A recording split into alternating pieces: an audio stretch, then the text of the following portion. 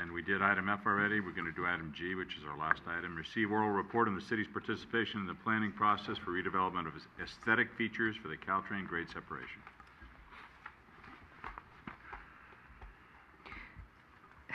In the last, uh, I will try to be as short as possible. I know that you had a very long night. In the last 10 years, JPB and uh, the city uh, worked collabora- uh, collaboratively on the development of the Grade Separation uh, project. Uh, the, des- uh, the design concept incorporated a decorative gateway in, our, uh, uh, in the city on the east side of the structure.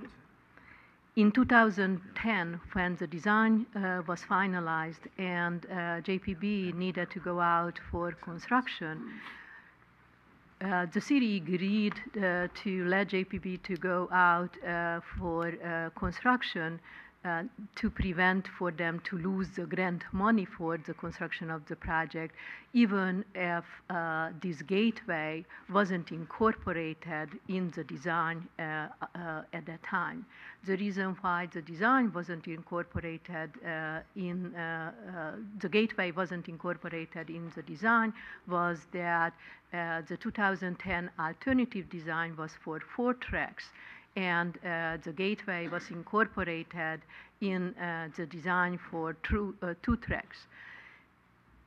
To solve the problem, uh, the city agreed to enter in a, in a memorandum of understanding uh, with uh, JPB, agreeing, agreeing with them to work uh, collaboratively uh, on the development of a decorative gateway to uh, uh, develop solution and alternative and to incorporate in the project.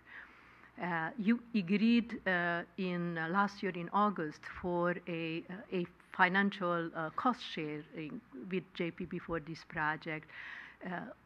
Following uh, that uh, financial agreement, uh, JPB and the city went through a uh, selection process of the consultant, and a very highly qualified uh, team was uh, selected jointly to develop this decorative gateway as a enhancement for the entrance in our community, community on the east side of the station.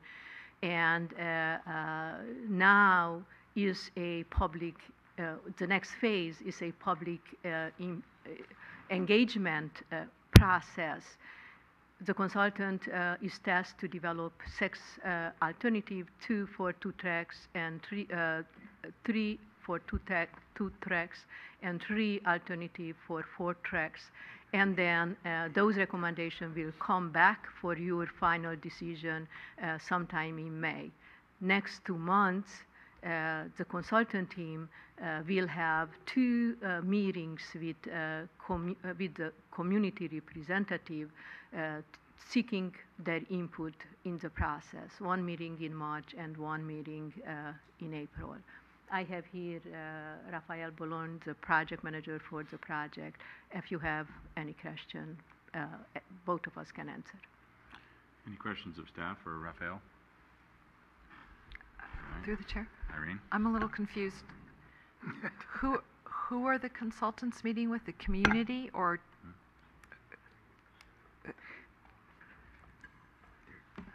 So the um,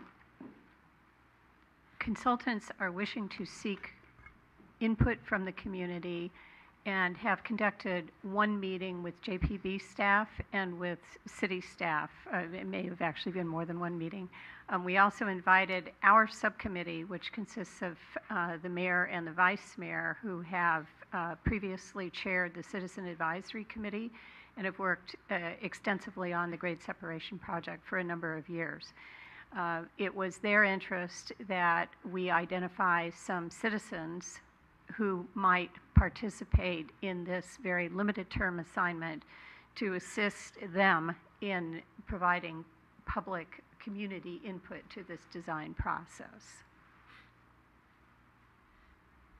Okay, so, so, so there's people that have been asked to? D- to- There have not been any No. people asked. okay. We're gonna What re- staff is, some um, let me, let me just be a little bit more clear. Staff is recommending that um, from the individuals who have previously participated in the Citizens Advisory Committee that ran from approximately 2002 until 2006, I think, 2005, a number of years, um, when the grade separation was being planned, um, there were 15 or 20 folks who stuck with that process for a number of years. And uh, we also recommend that you look at the list of folks who participated in the Transit Corridors um, Steering Committee, um, as that was a group that demonstrated a strong interest in downtown re- revitalization. Uh, So from that list, staff has provided to the subcommittee a short list of individuals that we think might be, um, provide some valuable public input to this current design process. Okay, thank you. Okay, any other questions? Well, I, if, if I could Okay. just add, I mean, the consultant, I, I think initially wanted to open it up to the entire community, and we felt that it just That would opened be a whole, unwieldy. yeah, open a whole can of worms Right. as far as how, trying to explain the whole grade separation. At least, uh, we are going to be selecting individuals in the community that have already, um, expressed, uh, a lot of expertise in making those decisions and know, and know the project. So, and that's my, my biggest concern is that these consultants don't beat this thing to death. I mean, how many, how many options can you come up with? You know, so I'm, I'm willing to go along with, with the, with the plan for now, but if they start providing us with, you know, a whole list of things that we can't make a decision on, then, you know, then something's gonna have to happen. But, uh, Is and I, the and I think, and I think the, the group of, the group of individuals that we, we hope to have on this, uh, in the selection committee also, you know, will, will feel the same way. You say uh, pre-scheduled meeting, if it's possible, in the beginning of March and one in the middle of April, and uh, the engagement will be limited uh, to those meetings. And you were provided with a uh, proposal list of uh, number of residents who can be engaged in the process. After your decision, then the city will contact those individuals and will ask their participation for those two meetings. Okay. All right, we, we have a, a short list here, and we'd like staff to contact these individuals to make sure that they're willing to help us out here.